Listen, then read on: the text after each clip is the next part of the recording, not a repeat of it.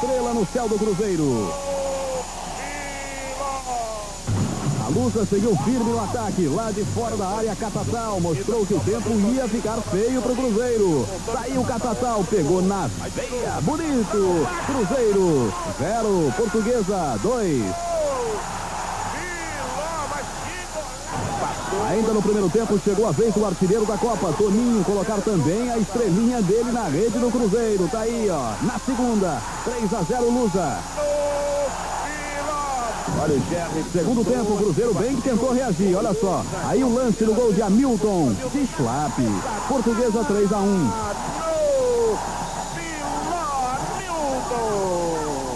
Mas o tempo ia ficando cada vez mais feio no céu do Cruzeiro e brilhavam as estrelas da Lusa.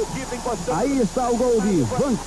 Bom, esse aí, meu irmãozinho, até eu faria. Van, o mano da fera, 4 a 1. O Cruzeiro tenta mostrar que ainda tem valor. Será, hein? Hamilton acredita e desconta. Tá aí, portuguesa 4 a 2.